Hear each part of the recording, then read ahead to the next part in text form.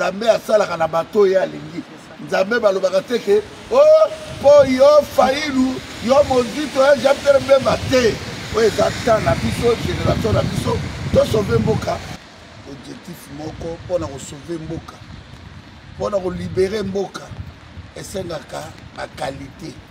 bato batikali constant bato tu bakozala bengetele te bato tu bakozala bakisengise te bato tu bakozala bilela te me bato so bozala bato bosuteni bandoki bavampire le vampire bacarnibal bongo sikoyo ndeko na biso boye mpe kuna na mboka na biso eza ikamba souffrance misère mabele wana eza ya kagame te ya moseveni te ya félix etilo te ya ridi polite kanambe te tovanda 30 tomonaka to plus de 15 millions de morts non oyo eza temps il est temps ya changement il est temps ya bato baza na muru ya mboka nzasa na mokili momba bozala constat parce que l'air est très grave biso nde tokolibere mboka donc eza na idéologie toa na yango moto ifo koloba kobanga moto te kozala na nsima ya moto te yango tosengasoki obangi na respect soki obangi okokufaka kaka mpo toza éternel te lokola nayebi ke nakokufaka nakoloba verité ti na suka ekande euh, sositenaki bato wana tu ba etienne tisekedi ba ba euh, oyo mosusu oyo nani oyo cilolo bakatumbi bafailu e bamozito tokutana na bango toyamba bato tu toyamba bango awa me tose deside tose desida ke na kati occupation basalaka politiki te balidere oyo bakodirige bino bango bolanda bato bakopesa bino quelque chose depuis bobanda kolanda bakombo boyebi ti lelo bozwaka eloko te ozalaki na 18 ans okomi lelo na 48 ans mais ozosala bilan ya vie na yo te ozaka na nsima bato wana me bato wana bana na bango bana bapoto wayambo alebolonzo alobaka bien alebolonzo eboloba asololaka bien mosala otu asali esengeli okaa yebo ifa abuka bafui ya malamu papa ale aye awa amoni ye moko akomoma bato bino ofinga biso bato ya nzala papa ale omoni ya moto ya nzala aza te na kati occupation baliberaka nde peuple après boye kosala politique toye kokutana na alain bolodwa nga nakola eloko kolo ndeko kolo produit kolo kolo mekufu kolo mekunta pande nakoki kowelela te naye félicitation yango napesi mbote félicitation na tout yango nde eza très important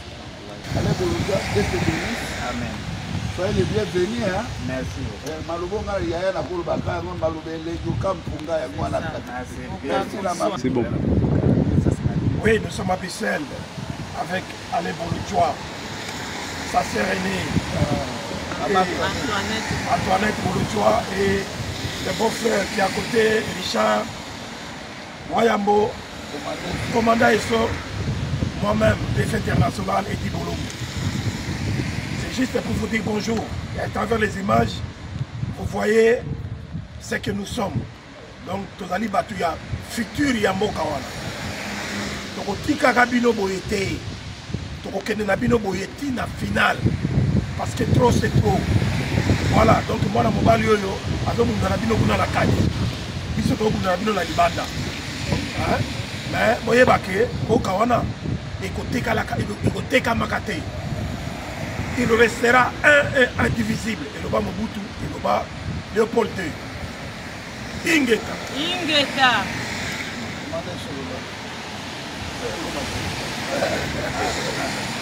non bandeko na ndeko yaka mwa pembeni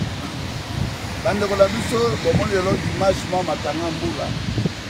ayaki kokutana na leki na ngai mpo toza na ye vision moko objectif moko mpo na kosauve mboka mpo na kolibere mboka esengaka bakalite bato batikali constant bato tu bakozala bengetele te bato tu bakozala bakisengise te bato tu bakozala bilela te me bato so bozala bato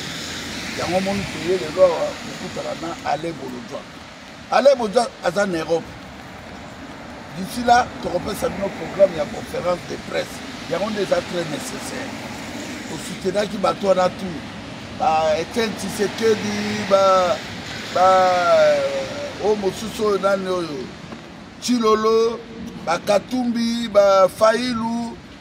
e bamozito tokutana na bango toyamba bato tu toyamba bango awa me tose deside tose desida te na kati occupation basalaka politiki te na kati occupation baliberaka nde peuple après boye kosala politiki me te kokutana na alain bolodwa na cadre ya politiki te me na kati etake famille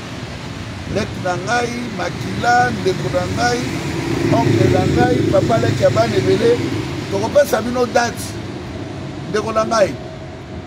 wayambo alebolotu alobaka bien alebolotu eboloba asololaka bien mosala otu asali esengeli oka ya ye boifa abuka bafui ya malamu oyebi kuna na mboka na biso eza ikamba souffrance misère Alain Bolodjo aye tolingi tosala conférence de presse ife ezala na union européenne na salle oyo biso tout tokoya wana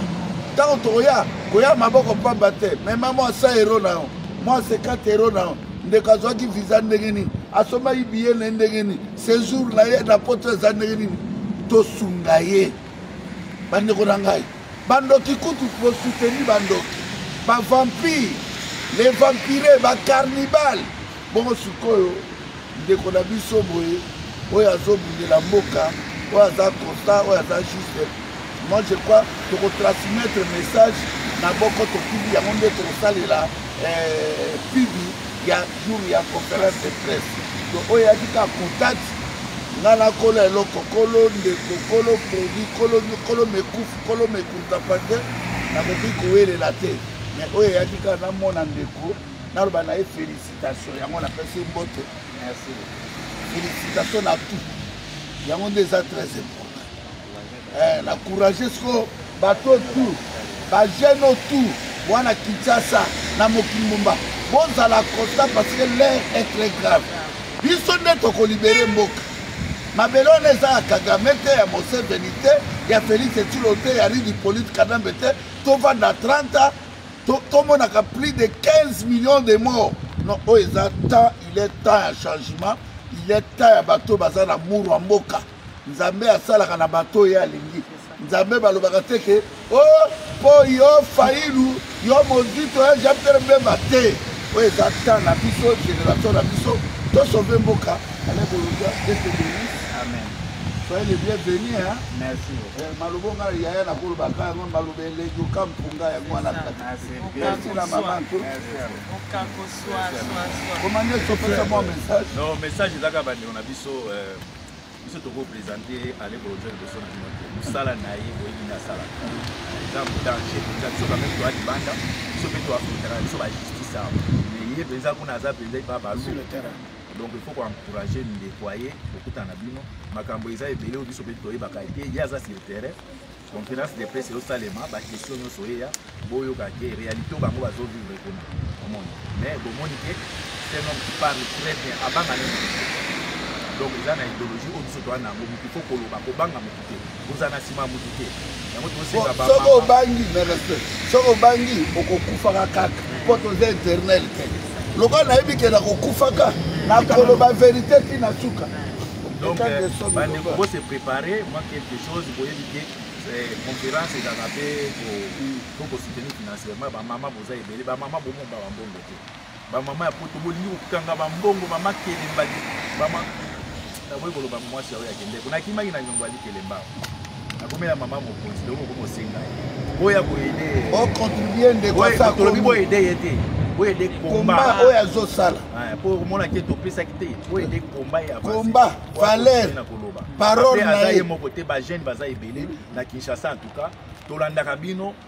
toza ko encourager bino bolongwa na sima ba leader na bino ya distraction wana bolongwa ba leader oyo bako diriger bino bango bolanda bato oyo bakopesa bino quelque chose depuis bobanda kolanda bakombo boyebi ti lelo bozwaka eloko te ozalaki na 18 ans okomi lelo na 48 ans ozosala bilan ya vie na yo te ozaka na nsima bato wana me bato wana bana na bango wana bapoto papa ale aye awa amoni ye moko akomoma bato bino ofinga biso bato ya nzala papa ale omoni ya moto ya nzala aza te awa moto ya nzala aza te bino nde tozoyokela bino mposa na mpasi bolongwa na mpasi wana donc biso tosala role na biso tokosala te bamama bapapa bosorganize mpona koya na conférence de presse boyoka moto abimi na kati ya réalité oyo po biso toyete tomonaka te aya koexplike biso po toyeba nini tokochange na bato ya kongo ya komema message na biso na kongo ayebisa yango kuna mpe tomoni boye ba idée na biso esangana yango ekolibere mboka et puis conférence conférence ezosalema ezali conférence nationale awa tribalisme eza te bandeko na biso ya baluba ya bandundu ya équateur ya kindu sud kindu bazairoi tout bacongolais mpe oyo bana bacongolais mais bazairoi tout oyo bana susi ya mabele wana boya tokoanose bino na boko tokidi na sesikuka komanda yeso ya edi bolombo na star net tv atuka kotala to akale mpo biso tolingaka guerre médiatique donc tokosoutenir ndeko na biso tozala guerre médiatique ndenge amatecwana tozala guerre médiatique donc il faut bozala aza produit ya vrai combat atuka moto nyonso amonaka combat tokopresente ye te baevre na ye nde elobela bino soki olingaka ale koluka olinga liti na ye mama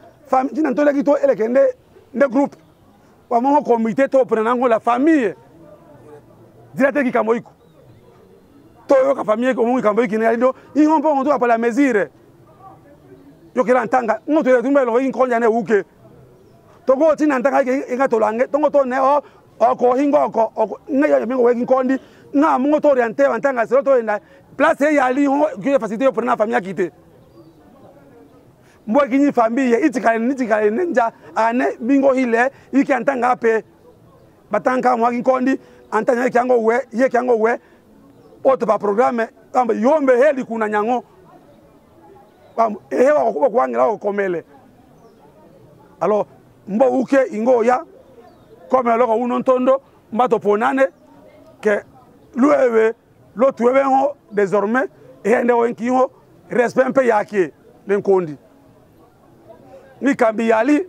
ntwada ikambi mine kende groupe oui ndanda groupe trop toyela ninga lopanjo toyela mbanga liya liwongo kasi kiwa groupe mais il faut respect akende groupe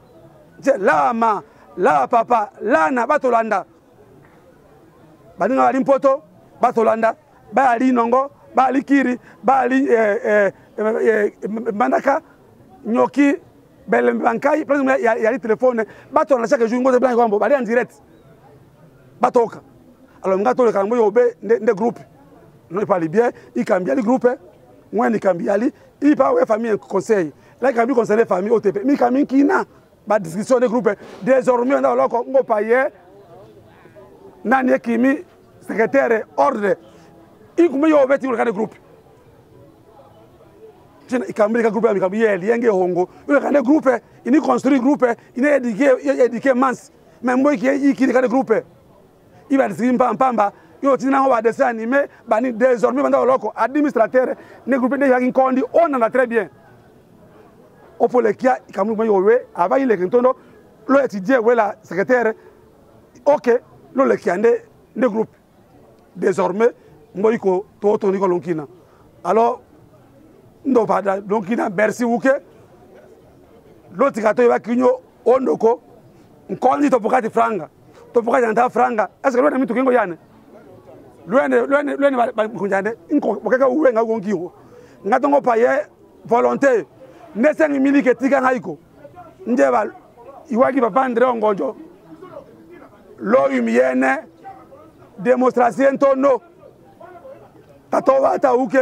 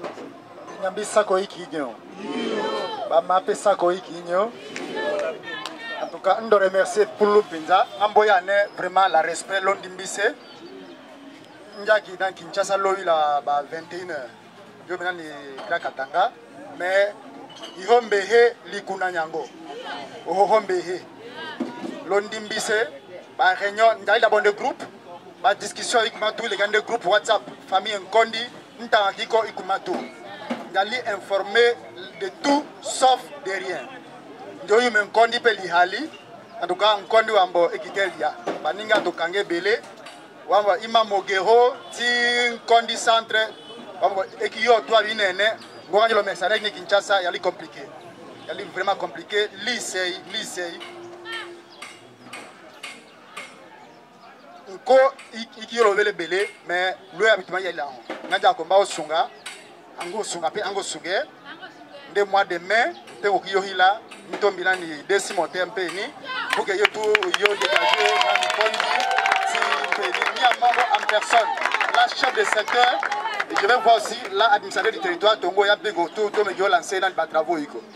Et tout, mais allez, on est,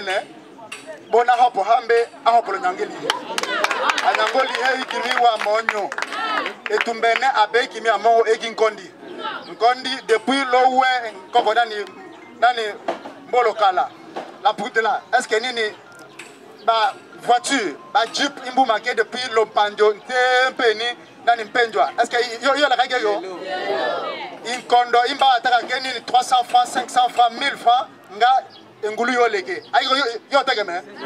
100 francs 200 francs lolekemba lopawa merci beaucoup bien